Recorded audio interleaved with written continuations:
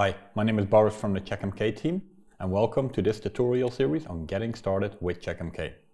In the next 17 episodes, we're going to install and configure CheckMK as your monitoring system. We will also cover topics such as monitoring SNMP, customizing and creating your own views, distributed monitoring, and much more. Now, CheckMK comes in a few editions. We got the open source edition, which is free to use for everyone. Then there is an enterprise edition, which is based on our proprietary monitoring core and has many additional features around automation and reporting. And it's also very suitable for monitoring large IT environments. Then there is a free version of this enterprise edition, which has all the same features, but will be limited to 25 hosts after 30 days. So even after 30 days, you can still monitor up to 25 servers, SNMP devices, or whatever you like.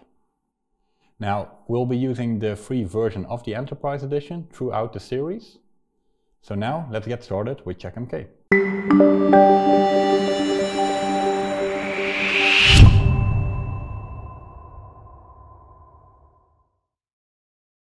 So in this first episode, we're going to install CheckMK and we're also going to add our first host to the monitoring system.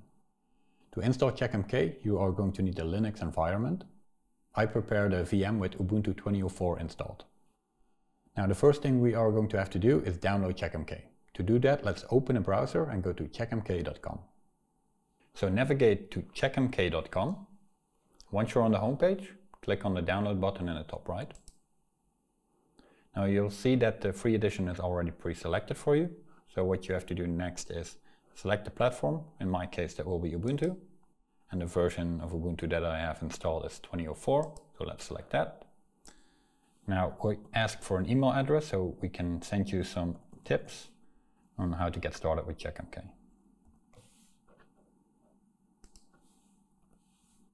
Once you have put in your email address, hit the big green download button and wait for the download to finish.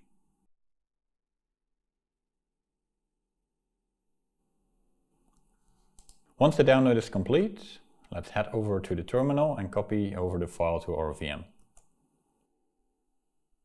So here you see we have the file. Now let's just simply copy it over to our VM. Let's copy the file name. And we'll copy it over to our VM. We'll put it in a TMP folder for now. Okay, it's done. Now let's SSH into the VM and get started with installing CheckMK.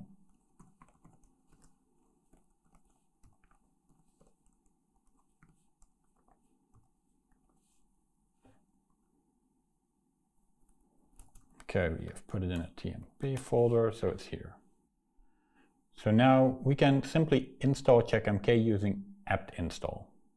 This will install CheckMK with all its dependencies. So what is a dependency?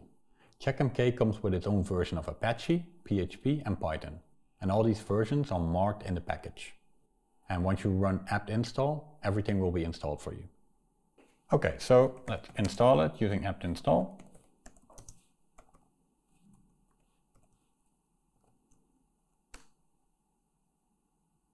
So you see all these dependencies will be installed once I press yes.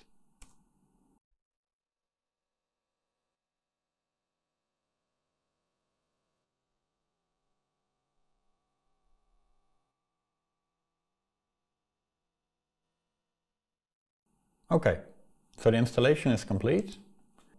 Let's check the version.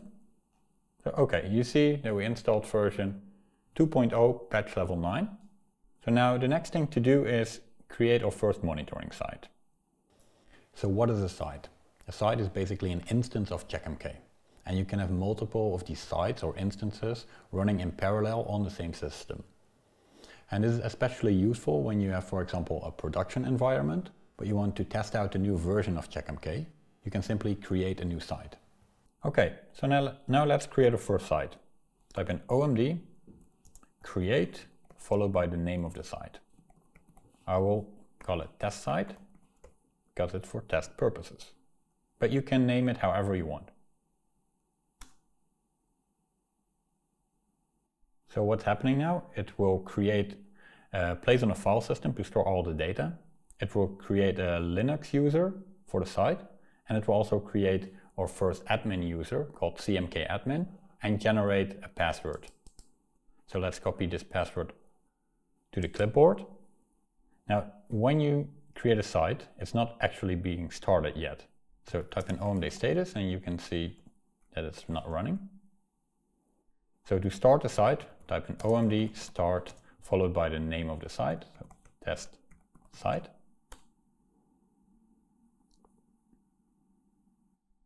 And if everything is okay, you can switch over to the browser and visit the UI. So let's do that.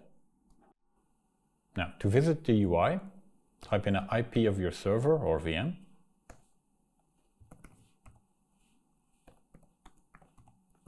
Followed by a slash and then the name of the site. Now the default user is cmkadmin. Type that in and paste in the password that's been generated. Now once you log in for the first time, you'll see that the dashboard is pretty empty. That's because we're not actually monitoring anything. First, let's quickly change the password. So click on user in the bottom left and change password. Paste in again the password and type in your new password. Hit save. Okay. Now let's head back to the main dashboard by clicking the logo on the top left. Okay, let's quickly talk about the right sidebar. So this is the overview. You, here you will see how many hosts that are being monitored and how many services, but you can also see if there is any problems. Right now, it's still completely empty, so let's quickly change that. So the first thing we are going to monitor is the monitoring server itself. To do that, we will need to install an agent. We will install this agent on the server, and that will send the data to our monitoring server. So click on Setup, and then go to Agents and click the first item. Now here, you'll see all the different agents that we have. So we have an agent for Windows, for Red Hat, for Debian, uh, for Solaris, for AIX, and if you want to monitor something more exotic, then there is this uh, TGZ file you can download. But we have an Ubuntu 20, so let's download the Debian file.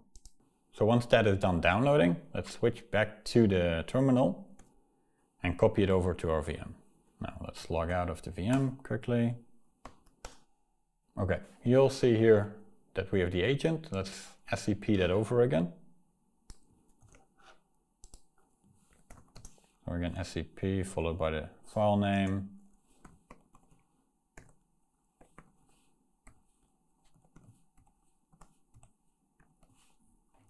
Again to the T TMP folder. Okay, that's done. Let's log back in.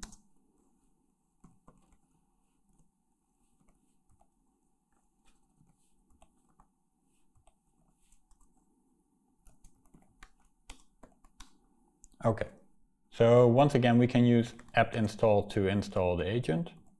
Should be fairly quick.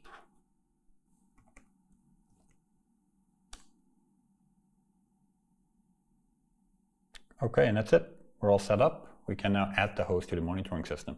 So let's switch back to the browser and add it to CheckMK.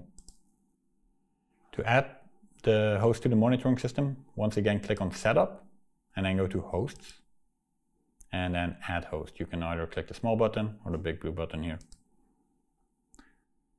Now what we need to do is give it a host name. Uh, I will call it the monitoring system. Um, that describes it fairly well. But you can name it basically whatever you want. Uh, in my case, I will also need to add an IP address because I don't have a fully qualified domain that's resolvable by DNS. Otherwise, I could have given that in and then you can om omit the entire IP address and it will just resolve itself.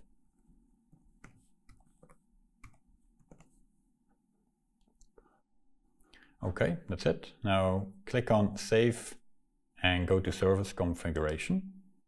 and you will see that it will already start discovering services uh, that are being sent from the agent. So now you'll see that everything is undecided. We're not actually monitoring anything. We have not decided if we want to monitor this specific service. So you can either go through this list uh, by clicking the plus or the X. Uh, by if you click the plus, you can monitor the service. If you uh, click the X, then you basically don't want to monitor the service and it won't show up. Um, I will click on fix all and it will just monitor everything. Oh, still one undecided. Let's click the plus. Okay, so now we're monitoring all the services that uh, are being sent over the agent. And you see here that we have a few changes. Whenever you make a change to the setup of CheckMK, uh, it will show up here that there are changes. Changes are not being applied automatically, but only if you explicitly activate them, then they will be applied to the, to the monitoring system. So here you see the pending changes. You see everything that we have done. We have created a new host. We have discovered the labels that came with some of the services. And we are now monitoring 23 services for this host. So if we click on activate on selected sites, it will be applied.